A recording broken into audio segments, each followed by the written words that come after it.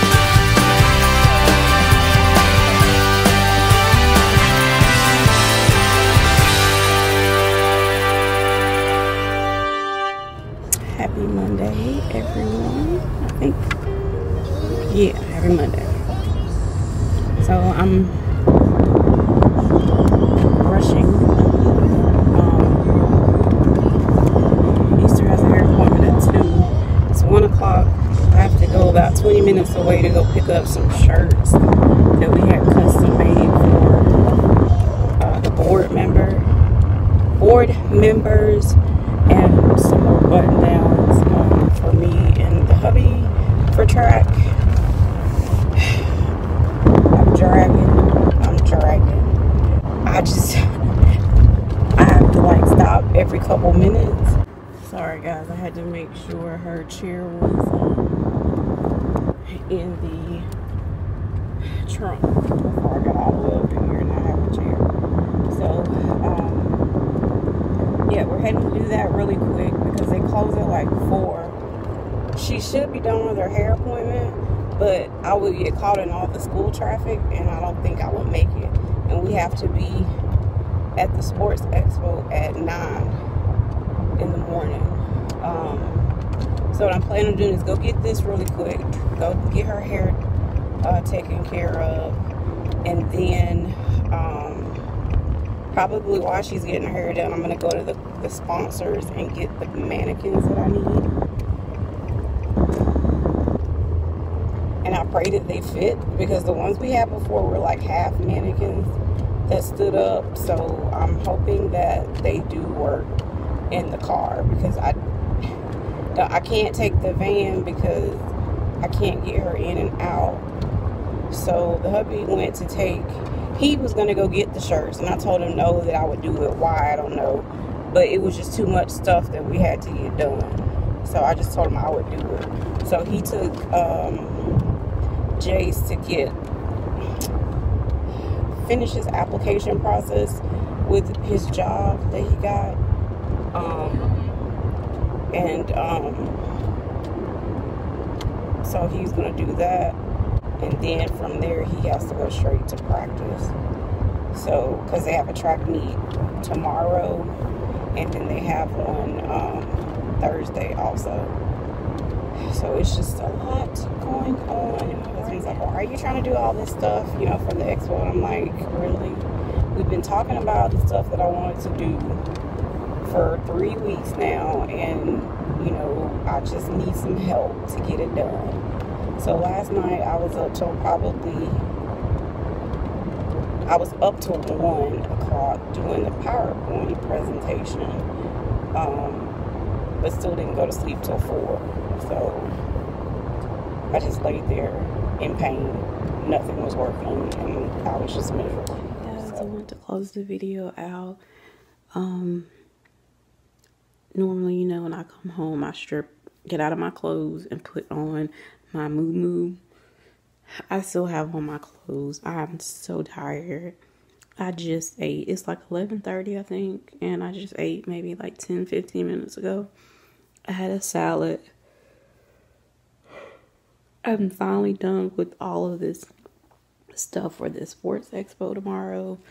Me and my husband had to leave and go to Walmart at like 8 something because the printer decided it wanted to be out of ink and it kind of ticked me off because I printed stuff earlier and it was fine. And then all of a sudden it just started acting crazy. So I um am about to get up and go to bed. Um, I've taken my medicine, all but one, and um, yeah. So hopefully tomorrow I can get some good footage for the expo, and I'll have more productive. It's just today was just too busy. Once Easter was getting her hair done, I went to the corporate sponsor to pick up the mannequins. Then I went back to pick her up. Then I had to go to Dollar Tree. It was just too much today. So I apologize for not vlogging, um, you know, during that time frame, but it happened. So hope you guys have a wonderful night and I will see you bright and early on Tuesday, the Lord's will, because we have to be out the door by 8.30, I think he said. I, I don't even know. so, so happy Tuesday, everyone. To um, the sports expo finally. It's about 8:43. We can set up between nine and nine, you know, between nine and nine thirty. Um, because the doors open at 10 we have two vehicles that we're taking because the hubby as soon as he leaves um, this event he has a track meet that he has to go to. Um, it's just a lot going on. It, it really is. And it's pretty much just gonna be me and him today so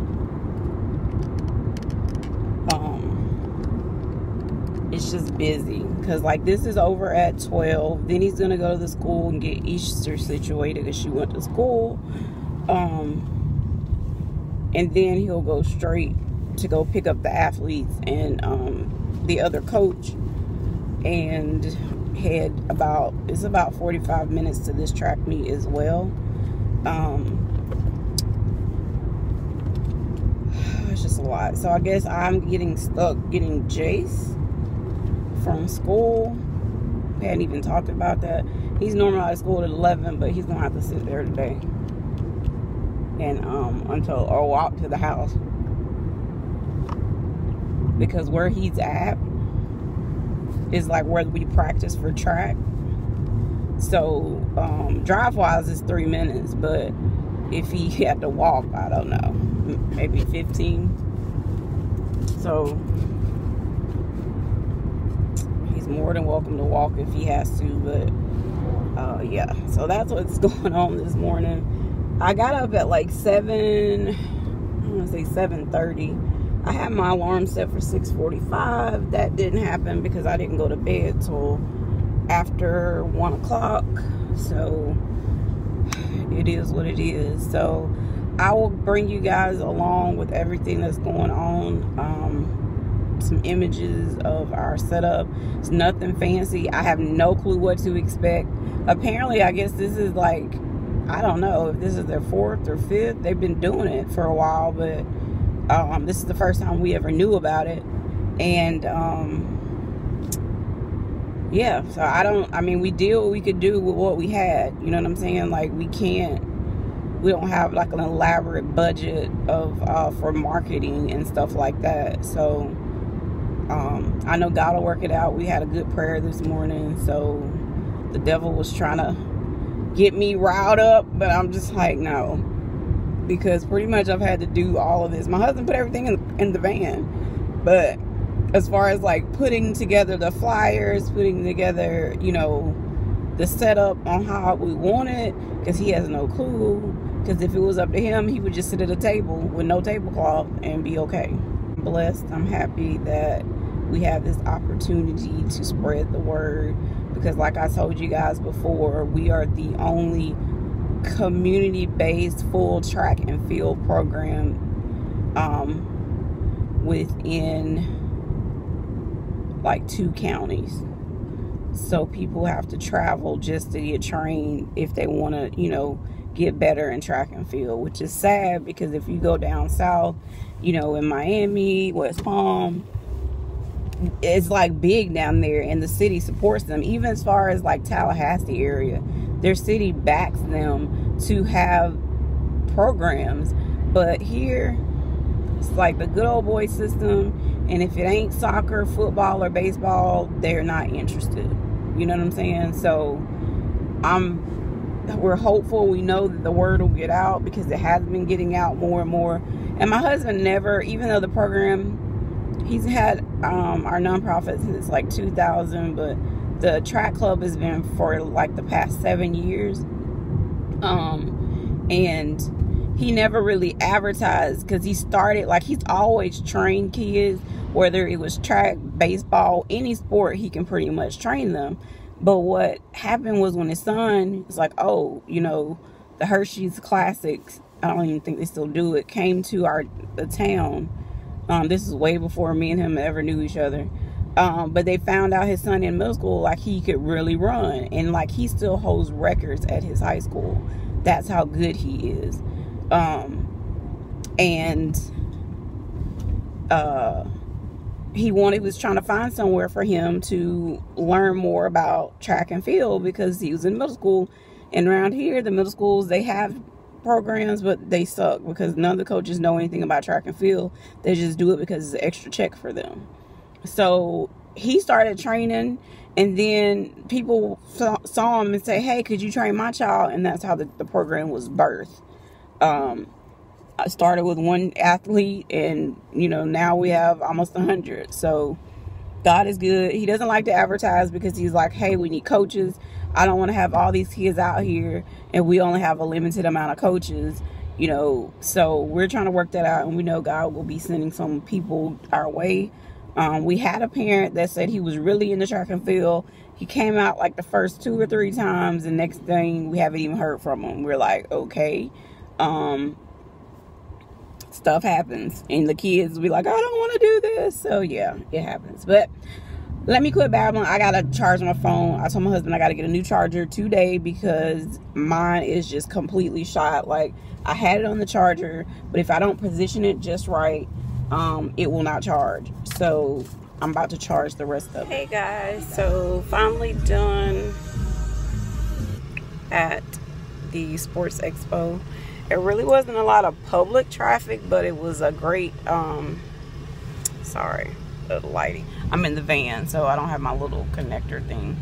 Um it was a lot of uh good networking opportunities. Um there the city is super excited that we're bringing track and field here. Um there's going to be some justin gatlin events um that they're going to be having. Um so we're like really, really excited about the future. Um, I have like a headache and I don't, I had something to eat, um, but it's like on this side of my head. So I'm headed to go get Jace from school. Um, and then I have to go to Walmart to get a phone charger because um, my charger is pretty much like shot. Like I can't even position it to charge at this point. So I'm gonna go to Walmart and just grab one. Um, and then I will be going home. Maybe I can get a nap in before Easter um, gets off of the bus at about 4.50, 4.30, whatever. I don't know. My husband was like, well, you get to go home and take a nap. I have to go straight to a track meet. I'm like, well, that's what you chose to do. I would have went with him, but that meant we would have had to rent a vehicle um, to get everyone in, and we did not want to do that. Um, the van has two row seatings in the back, but we took one out in order to haul all of the track equipment. Um, but yeah, it was about 20 different vendors that were there. I'll insert a picture of our booth.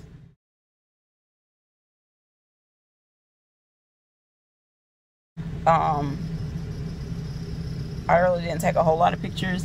One of our organizations did um, present us with a check that um, we help. So there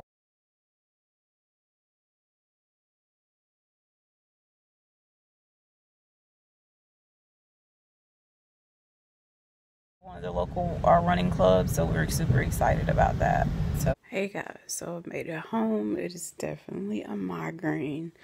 Um, when I got to Walmart, almost like to walk in there, it took everything out of me because my head was throbbing and then I started to get the nausea. So I stopped and got something to eat and I just took my migraine medication and I'm about to lay it down.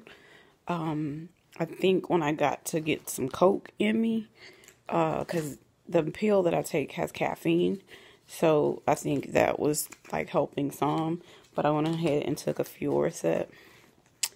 And I'm going to lay down for a couple hours um, until Easter uh, gets off of the bus. So my husband knows what's going on and he's going to call me to make sure I'm up um, to get her off the bus. So I'll hey guys, I'm up. Uh, just waiting on an Easter's bus to get here so I can lay back down. My head is still hurting really, really bad. And normally by an hour, the um, medication kicks in really effectively. And it's not like it's all on this side of my uh, head and like down to here for some reason. So as soon as I get her, um, off of the bus. I lay back down. Um, yeah, I've got so much follow up stuff to do from this thing, but I just can't. And I'm just at a point to where I really just need a really good day. I really do. Don't get me wrong, I'm very thankful and blessed that I'm alive and I can feel pain. But sometimes it's, it's a lot. It seems like I've had like a rough end of 2017 from August up until now with every month it was it's something. So I'm just sitting here um I don't know what else to do. Like my heart rate is crazy fast. It's like 122 and I still feel it. Just like boom boom boom boom boom. And I know that um, pill has caffeine in it, but it's never done this before. So, I don't know what's going on, guys. So, if you suffer from migraines, leave a comment below. What do you normally take? How long does it last? Um, what do you do to help it kind of go away? I would love to know because I used to literally have, when I before my hysterectomy, I had um, migraines every month, probably almost once a week. It was like really, really bad. And um, this is before I was diagnosed, and I knew something wasn't right. If I would be stressed, boom, here comes a migraine um, on top of everything else, but not knowing that, you know, lupus plays hand in hand so what ended up happening after I had my um, hysterectomy because I had endometriosis, um, they were better somewhat. Like I would get them, but it was like only two to three, you know, every two months or so. But then once I got diagnosed with lupus and got on my meds, and a treatment regimen, like my headaches went away, and now I may have a migraine um, every like one every two months, maybe. Um, but this month, I've already this is my second one, and I don't know what that means.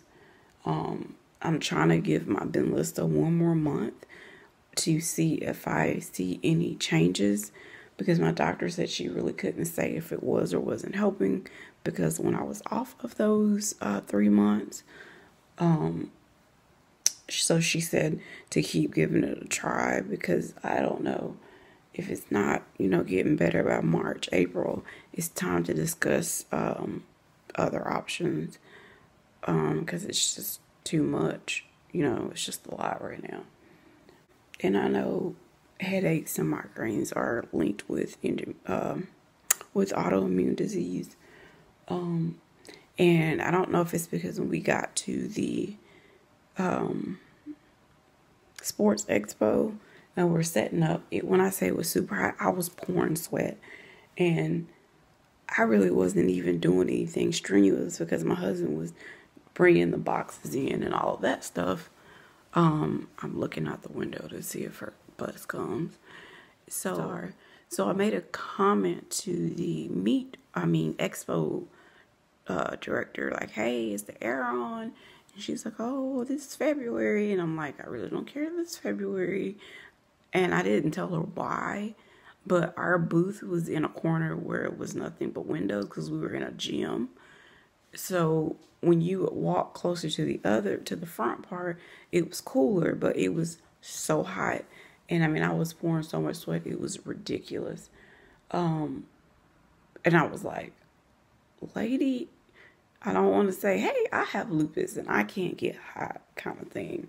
Um, so eventually it started to cool down and I just sit there and I drink water. But it was horrible. I mean, so I don't know if that's what triggered. Um, trying to see my cheeks rosy. I can't even tell. Um, I don't know if that's what triggered the headache. Probably. Now that I think about it. So my desk is back looking a mess right now because of everything we had going on. I hope everyone had a good Tuesday. Um, I don't really have anything else planned for today. I think tonight I'll eat some fish. Um,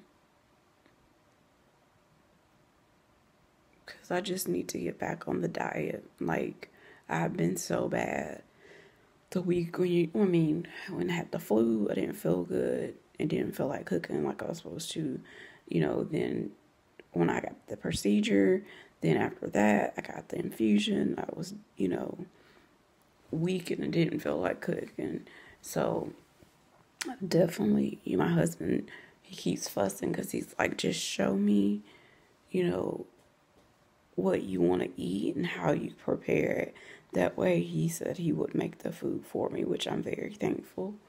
Um, so it's just a matter of our schedules coordinating. So maybe on the weekend, I can show him how to, um, you know, how I do my fish, how I pan sear it. Um, I haven't tried this that white fish in the oven, so all right, Easter's here.